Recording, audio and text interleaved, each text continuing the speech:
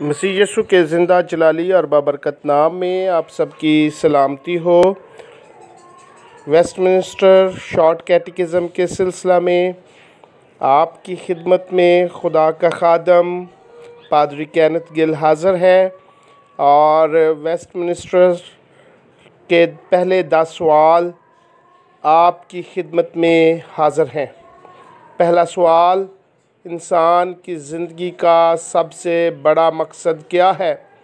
उसका जवाब, खुदा, हमेशा खुदा का जलाल ज़ाहिर करना और उसकी रफ़ाकत में खुश रहना इंसान की ज़िंदगी का बड़ा मकसद है।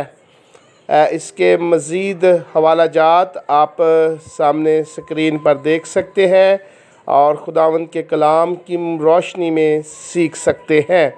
आज का दूसरा सवाल, खुदा के जलाल ज़ाहिर करने और उसकी रफ़ाकत में खुश रहने के लिए उसने हमारी हदायत के लिए कौन सा कानून दिया है? उसका जवाब ये है कि सिर्फ़ खुदा का कलाम जो बाइबल मुक़दस के पुराने और नए अहदनामों के नविश्तों में मंदरज है, उसका जलाल ज़ाहिर करने और उसकी रफ़ाकत में खुश रहने के का और हमारी हदायत के लिए वहद कानून है।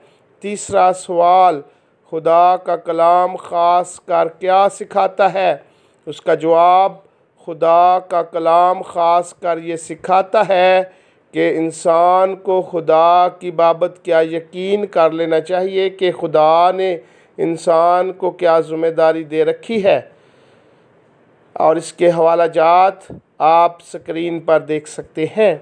आज का चौथा सवाल कि खुदा रूह है जो अपने वजूद दनाई कुदरत पाकिजगी इंसाफ नेकी और सच्चाई में लामहदूद अज़ली और अबदी है। आ, खुदा कौन है? ये उसका जवाब है कि खुदा रूह है जो अपने वजूद और दनाई और कुदरत और पाकिजगी और अबदी और ला तब्दील खुदा है। पाँचवा सवाल, क्या एक के सवा और खुदा है? उसका जवाब, हरगज़ नहीं, सिर्फ़ एक ही खुदा है। वही ज़िंदा और सच्चा खुदा है। और इसके लिए पहला ग्रंथियों, आठवां बाब और उसकी चौथी आयत में इस तरह से मंदरज है, बुत दुनिया में कोई चीज़ नहीं और सवाए एक के और कोई खुदा नहीं। आज का पांचवा सवाल, छठा सवाल अलूहियत में कितने अकनूम हैं? जवाब है अलूहियत में तीन अकनूम है, बाप बेटा और रुलकुदस और ये तीनों एक खुदा है माहियत में और एक और कुदरत और जलाल में बराबर हैं। आप हवाला जात स्क्रीन पर देख सकते हैं और रहनमाई हासिल कर सकते हैं। सातवां सवाल, तकदीर अलाही क्या है?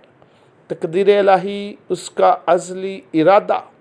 उसमें उसी की मर्ज़ी की मसलत के मुआफ़ है, जिससे खुदा ने जो कुछ वाक़ होता है, अपने जलाल के लिए पेशतर से मुकर किया है। आज का आठवां सवाल ये है कि खुदा तकदीर अलाही को कैसे अमल में लाता है? उसका जवाब, खुदा तकदीर अलाही को जहाँ की पैदाइश और परवरदगारी के कामों से अमल में लाता है। और ज़मीन के तमाम बाशिंदे न चीज़ गिने जाते हैं। मसीह में मेरे अजीज़ों खुदावंद के पाक कलाम की रहनुमाई में सीखते रहें और बरकत हासिल करें। नौवा सवाल जहान की पैदाइश से क्या मुराद है? इसका जवाब है, जहान की पैदाइश से ये मुराद है कि खुदा ने अपने कलाम की कुदरत से सारी चीज़ों को छः दिन के अरसा में हालत अदम से और बहुत अच्छा पैदा किया है। दसवां सवाल, खुदा ने इंसान को कैसा पैदा किया? खुदा ने इंसान को नर नारी, मार्फत, रास्तबाजी और पाकिजगी में अपनी सूरत पर, मखलूक़ात पर इख्तियार के साथ पैदा किया है। इसके मज़ीद मतलाजात जात करें और खुदावन के कलाम से बरकत हासिल करें और खुदावन में बढ़ते रहें। शुक्रिया।